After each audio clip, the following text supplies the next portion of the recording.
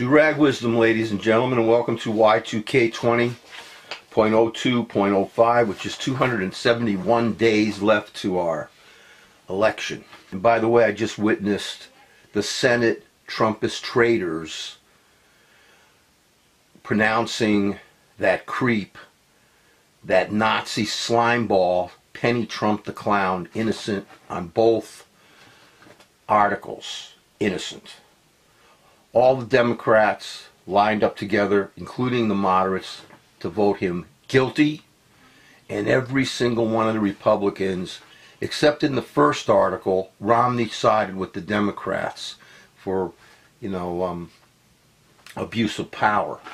But he did not vote to impeach on the second article, which is obstruction of Congress.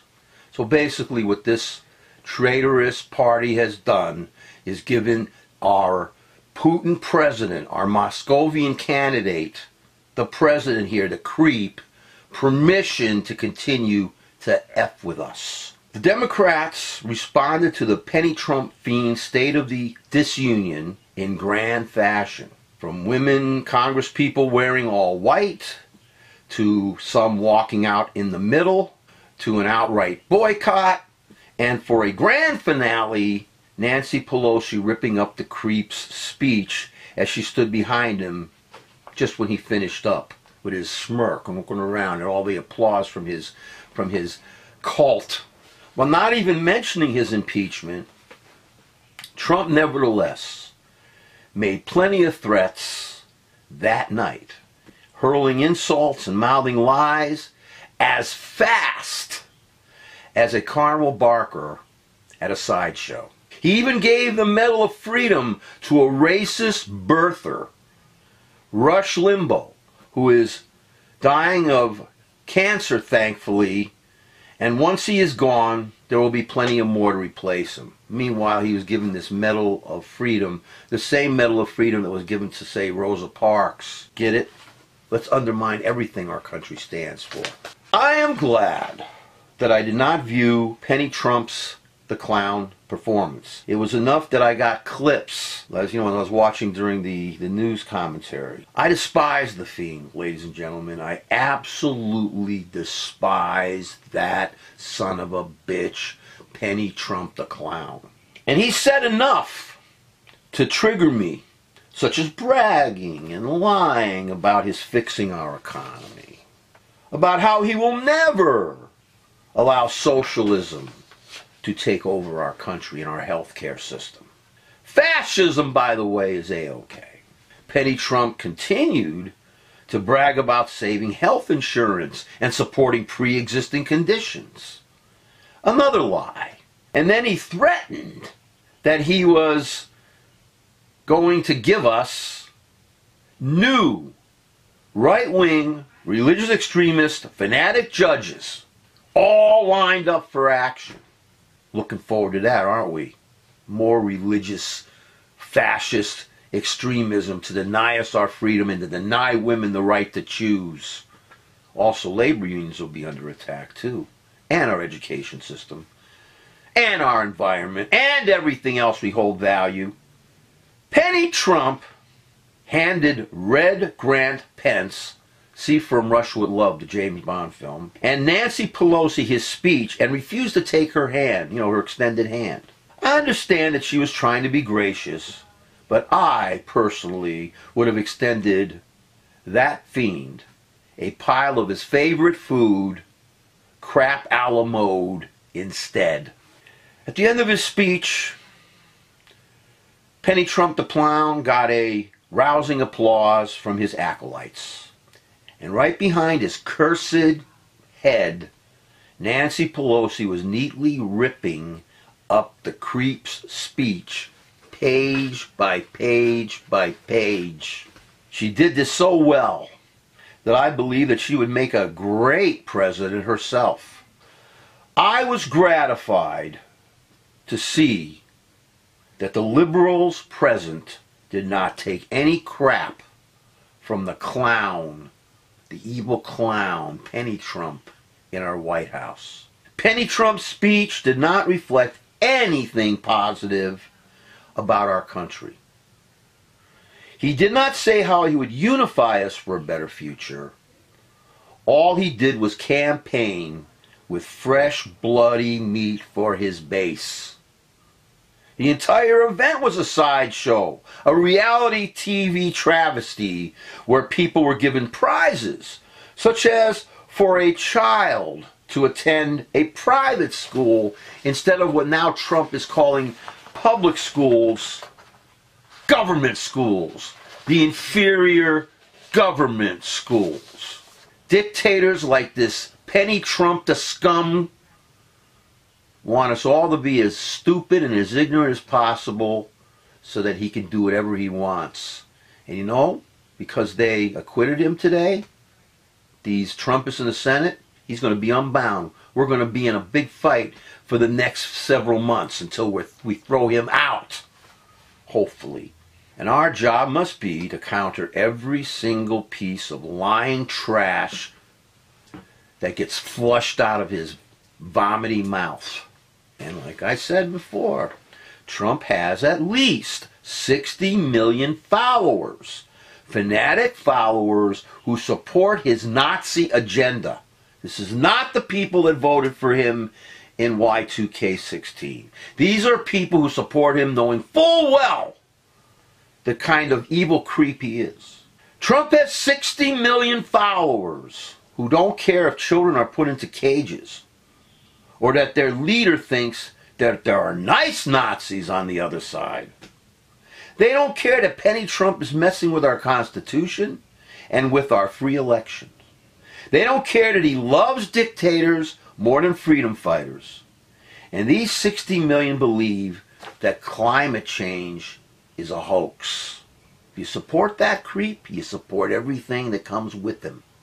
I understand that the Democratic Party is dangerously divided, and the rich turds like Mike Bloomberg want to take full advantage of that. It is fine, fine to protest the creep when he tries to make a speech. But we would be better served if the Democratic Party pushed a consistent agenda, a progressive agenda imbued with our rule of law and our respect for freedom, liberty, and diversity. There are 60 million creeps ready to vote for a Putin operative. If he is reelected, we'll invite Putin to our country so that both of them can gloat over the tatters that our democratic republic will be. And I'm going to start hunkering down, ladies and gentlemen, because I believe that there's going to be, and it's very disturbing to me to say this, we may end up with a civil war here, a real civil war. And how that's going to be fought, I have no idea because we don't have North and South. Now we have it all over the place. We have anti Trump states and we have pro Trump states. I guess there's plenty of room in this country, still some many, many, many acres of open space we could spill our blood in. But in the end, Putin especially will be laughing. But I got to hunker down. I got to get ready. I'm exercising now. I'm getting myself in shape. You know, I'm seven. Uh, I'm going to be 70 in August. I want to be ready, whatever I can do, to fight for the freedom, the dignity, the constitutional law of our country. Remember what he said. He is ready to make it rain. Trump, Trump Putin. Penny Trump the clown is going to make it rain, not cats and dogs, but instead partisan right wing judges who will curse generations to come. We'll be resting in our graves, us baby bunglers. But these young people and those coming after them, and even those beyond, are going to have to be dealing with these right wing religious extremists, naked ape, savage creep justices, injustices. Penny Trump's destruction of our country will be completed if we all stay at home and allow the 60 million Nazis who support the fiend to have their way with us. And I'm sorry for calling those 60 million creeps Nazis, but what else can I say? I mean, Bill Maher keeps insisting you can hate Trump, but you can't hate his followers. Bill, I'm going to have a hard time following your advice because it's us, it's the people who allow evil to flourish. Who's responsible if an entire society gets thrown down into evil, into murder, all kinds of crap, Nazi crap? Whose fault is that? Yeah, we could right away blame the the pernicious leader, but you know, he needs followers. He needs people who are going to stand by and apathetically accept that evil's here and we're going to do nothing about it. We are going to stand by the blood of our neighbor and let him rot, and let her rot. That's what the 60 million creeps who support Trump are. And I do hate their guts too. We must be bold. And we must be in their fascist faces every day, every time we can until the election day and beyond. We must rip up the penny Trump agenda the same way Nancy Pelosi ripped up his speech. Remember, too, my friends, and say it loud and keep saying it again and again because it is the truth. Fake Senate impeachment trial, no exoneration. Fake Senate impeachment trial, no exoneration. Fake Senate impeachment trial, no exoneration.